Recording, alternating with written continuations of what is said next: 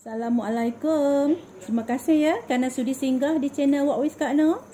Jangan lupa ya subscribe, like dan tekan butang loceng.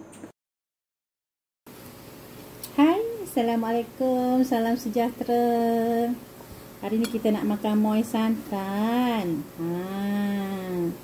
Dalam moy ni ada halba kan wangi je. Bismillahirrahmanirrahim.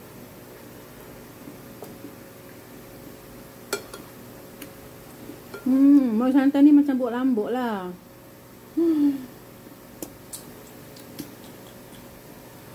Hmm. Baby pun boleh makan? Hmm. Mak baby pun boleh, bapak baby pun boleh makan.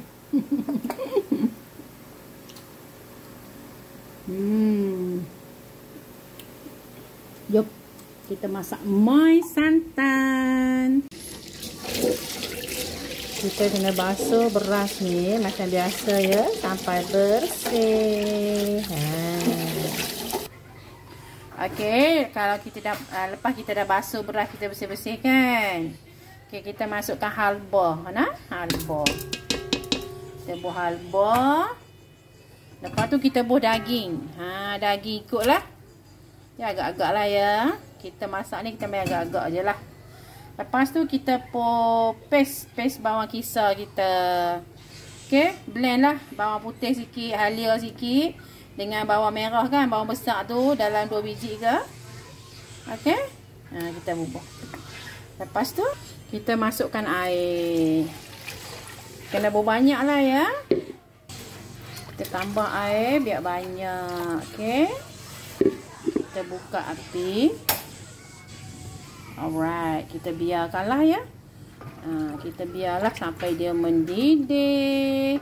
Sampai dia masak daging dengan nasi. Beras ni pun dia kembang nanti. Ha, jangan risau ya daging ni. Angkat empuk sedap. Okey. Kita tunggulah ya.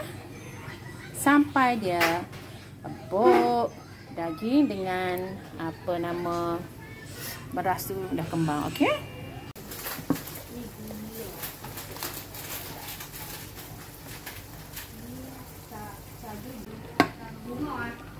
Tengok.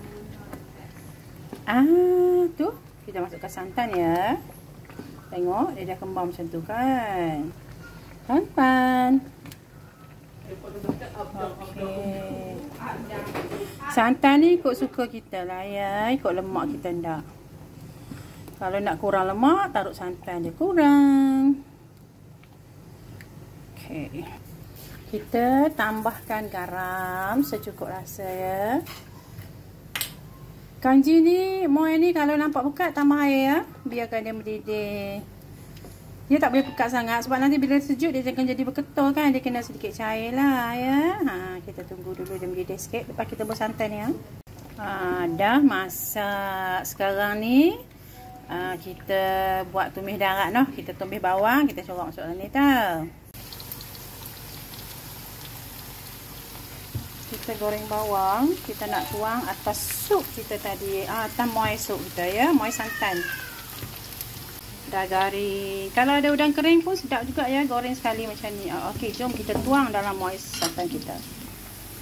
Ah. kita tutup sekejap. Nanti bila kita nak makan baru kita kacang ok moy santan is done